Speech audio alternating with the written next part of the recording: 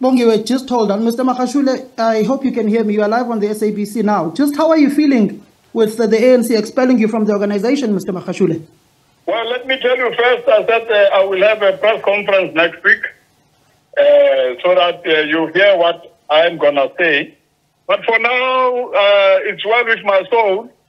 For now, I'm still jumping like a tennis ball, uh, running like a cheetah, and floating like a butterfly. I'm very well, very well. Uh, Mr. no crisis at all. Mr. Magashule, why did you not respond uh, to the ANC's National Disciplinary Committee, which gave you seven days to respond? Hear me next week. There was no way to respond. Uh, I did not have to apologize.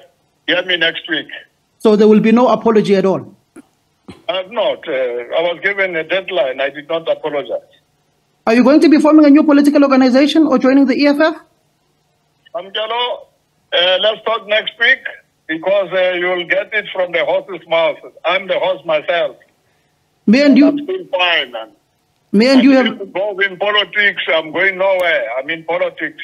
So basically, it's either joining a new party, forming a new party, or joining a new one that has been established. You'll hear me with the rest. I've promised everybody next week.